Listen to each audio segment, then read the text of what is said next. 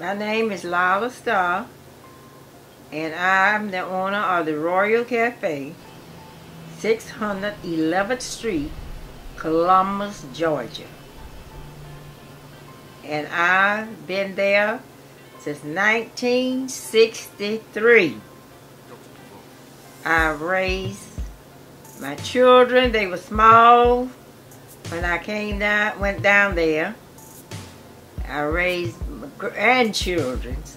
Now I'm on my great grandchildren. And I'm still working at 85 years old, helping my daughter out. And I retired about eight years ago. But my two daughters wanted to keep the cafe. So I went back to work and and, and Sarah left and had to go to California to see about the twins.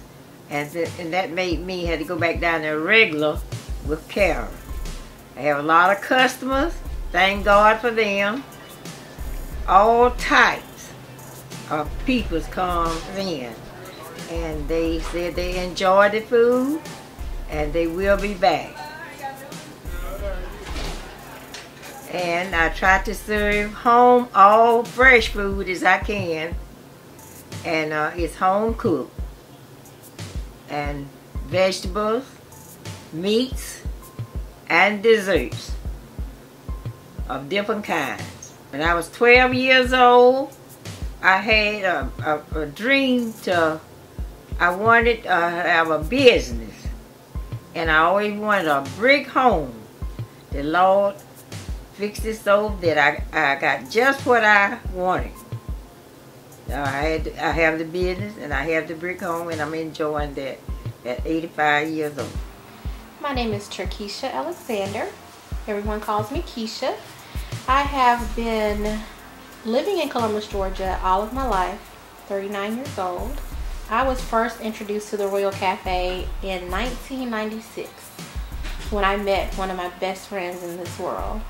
Still very close. I met her, we both started a new job together and we became quick friends because the first day on the job together when we made lunch plans, she said, let's go to my family's restaurant, the Royal Cafe. I said, okay, let's, let's, let's go there. And the first meal we had there was, um, I do remember the meat was um, pork chops, fried pork chops.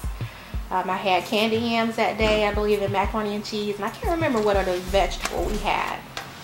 But being in Columbus all of my life, it was very new. It was a new experience for me because I had never been there, surprisingly enough.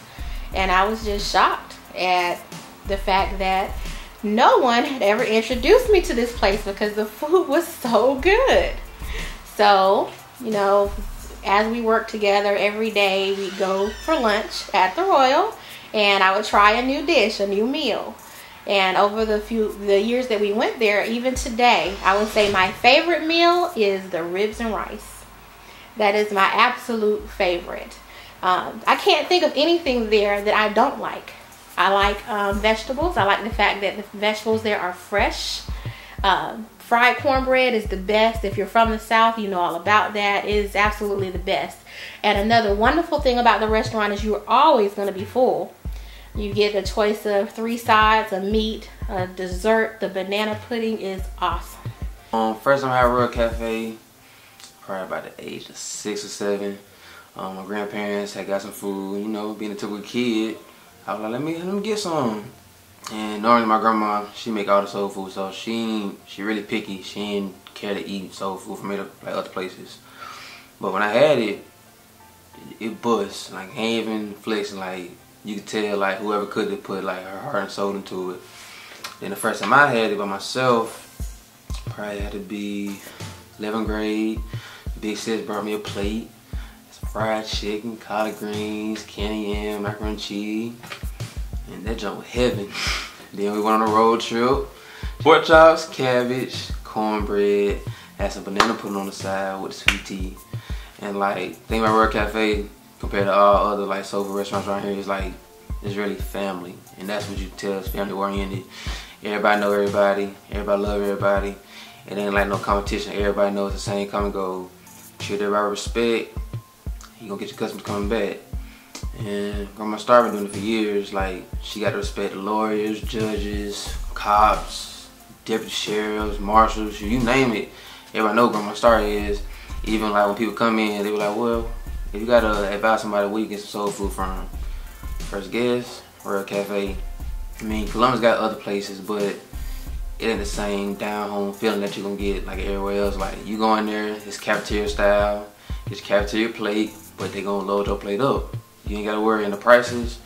You ain't gonna meet like them prices not gonna be matched anywhere else. With a drink, ain't no tax. Come on now, you gotta think. In today's world, everybody looking to make a dollar. With a grandma star, she wants you to come back for life. She don't want you to think you just she getting your money, that's it.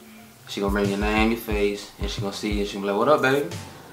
Royal Cafe, um, Mama bought that cafe from um, a friend and it was originally uh, a small place that sold hot dogs and hamburgers and um,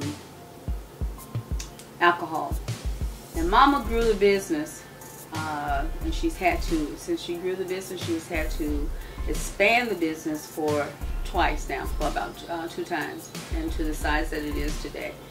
I can remember uh, the cafe, it was just uh, almost like a, one room, the kitchen and the dining area, all one thing, and it's like a long, this long, not very long bar. Everybody would sit there, and at I think it had about three tables uh, in there, and it was just really small compared to where it is today. I mean, she has done, she has done amazing with uh, her know-how, especially a person that has not gone to college to for business or even finish high school. She has done great. Uh, the Lord has really blessed her. So we remember the days, and the bathroom was on the. You had to go to the bathroom on the outside of the building. It was a it was a bathroom, but you had to leave out of the out of the room out of the uh, cafe and go outside and then into another room for the bathroom. So it was difficult, but you know she's made it to where it is today, um, and and that's another reason why my sister and I wanted to keep it going for the legacy of, of, of mom because she um, she built it to where it is. So um, we will be forever grateful for that. Um, it's hard work. Wasn't easy. It was hard work, and believe me, she made us work. Uh, there's sometimes that she would, um, you know, we would have to be late at school. She would always make sure that we got home uh, or got to the cafe. Uh, she couldn't leave, but she would always make sure there was someone that was reliable to pick us up. Uh, she did a lot on her own as a single parent um, and, a, and a woman of color, especially in the South in the 60s and coming on. She, she has definitely paid her dues, more than paid her dues. So um, we, that's another reason why we wanted to keep it going for, for that reason and for the legacy. And um, pray that there's someone coming up because I'm getting old too. that's going to take fill her shoes. Hello, my name is Jake Porter and I've been coming to the Royal Cafe since 1963. Now that's a long time. And I have to tell you, the food just keeps getting better and better. One thing I like to mention is the, the catfish they have. Of course, I've eaten mine. I can show it to you now, but it's it's like perfectly cooked. Uh, and the bread on there is I don't know what they do, but it's so crunchy and great to it's just unbelievable. And the macaroni cheese uh, is to die for. And one of my favorite is the uh, banana pudding. Ooh, I love the banana pudding. Rutabagas are, are, are nice. The liver, the, uh, uh, ribs and rice. Uh, it's just I can go on and on and on.